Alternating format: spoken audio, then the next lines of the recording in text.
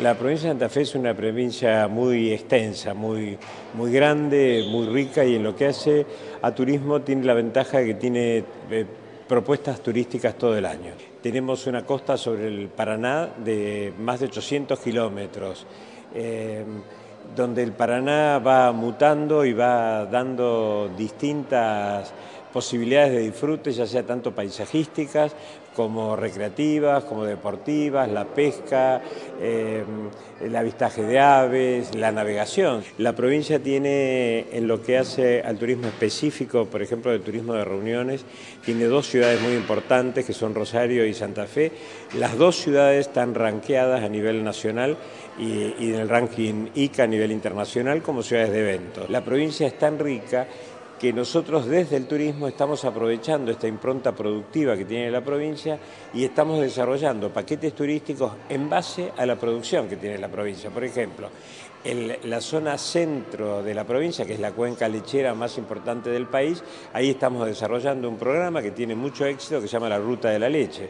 donde los turistas pueden recorrer una serie de, comunas, municipios, etcétera, visitando tambos, establecimientos donde se fabrican quesos, donde se fabrican dulces,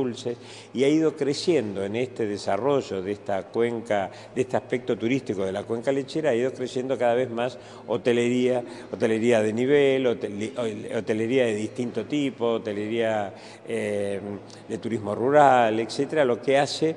que eh, uno puede a veces, aparte del paisaje, desarrollar otros elementos para construir eh, turismo. La pesca es un tema muy importante, se han desarrollado muchas cabañas a la vera del río, complejos de,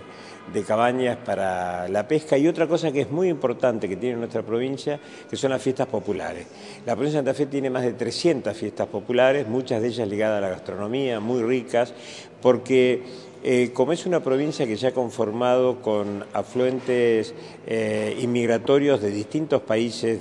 sobre todo europeos, hay muchas tradiciones en, los pueblos, en las comunas, que hacen a, de dónde venían los inmigrantes. Es una provincia que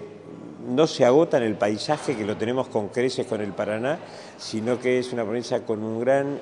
impulso, un gran impacto eh,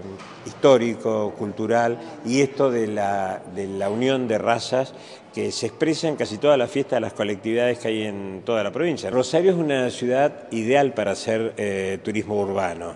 porque es una ciudad eh, muy bonita, que también tiene un paisaje espectacular frente al Paraná, pero también tiene, como vos bien decías, mucha cultura,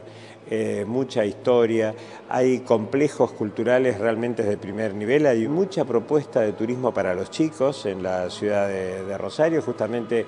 acabamos de certificar las normas de turismo familiar con siete establecimientos que han distinguido, eh, porque realmente hay una preocupación por, por atender a los chicos. Ya a veces decimos, hay más propuestas para chicos que para adultos en la ciudad de, de Rosario, pero como bien decías, lo cultural, lo artístico es lo que prima en nuestra ciudad.